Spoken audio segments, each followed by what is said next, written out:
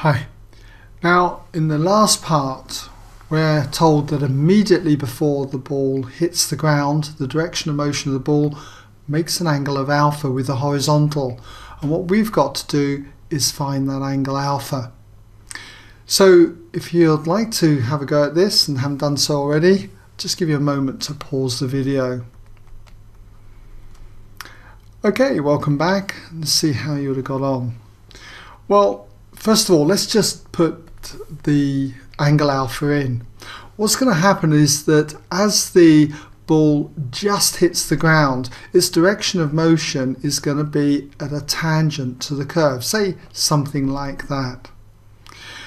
Now, the angle that we're being asked to find, the angle between the direction of motion and the horizontal, has to be this angle here. This is our angle alpha. Now to work out what alpha is, I'm going to need to work out what the two components of the velocity are so that I can form a vector triangle.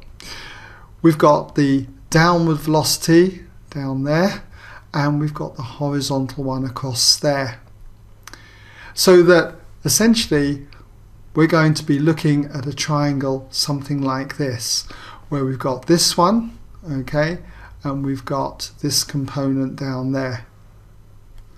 And we've got the velocity of the ball in red something like that. So angle alpha is going to be this angle in here. And to get alpha if I know these two velocities I can then use trigonometry to work out what alpha is. So that's where we're going. Now I know what this horizontal one is because the horizontal speed always remains exactly the same because there's no acceleration in the horizontal sense. And we worked out that it was 4 meters per second earlier on in the problem. So we'll just put that in as 4 meters per second. So really it's the vertical one that we need to get. So if I just call this, say, the vertical component at time t, that's what we're trying to find. Now to get this, what I need to do is consider the vertical motion. So we'll just put that in there, consider the vertical motion. And we need a positive sense and our positive sense is going to be in the upward sense okay? Because that was the initial direction that we projected in. So we build up a Suvat based equation. We know what S is the displacement from here down to here. It went up came back down so it's gone back down six units. So S is minus six. U is going to be 8.8 we found that out in an earlier part. So 8.8 there. V the final velocity well that's what we're trying to find. Called it vt here so just put that in there. And a the acceleration well that's going to be minus 9.8 the acceleration due to gravity. And t the time well that's equal to big T. And I've updated it with that value we found in part C, 2.323 and so on.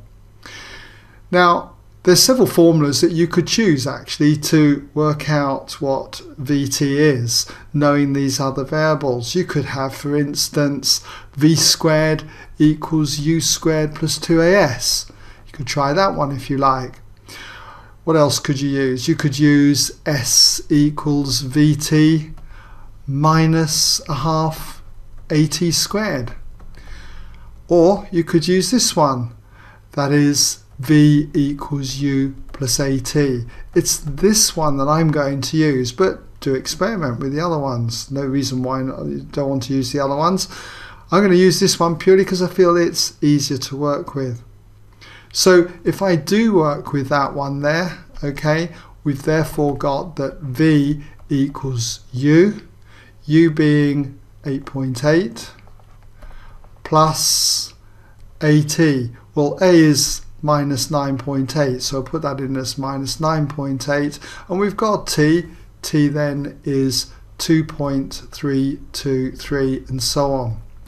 And if you work this out, what you get is a negative value 13.9654 and so on. We'd expect a negative value because it's coming downwards in the opposite sense to our positive value. Okay, so we can update this. This is going to be in magnitude 13.9654 and so on. So to get alpha, all I need to do is by using trigonometry, tan of alpha will be this value over the 4. So if I inverse tan both sides, I'm going to have alpha equals the inverse tan of 13.9654 and so on divided by the 4. And if you work this out, you find that you get 74 degrees to two significant figures, to SF. Okay?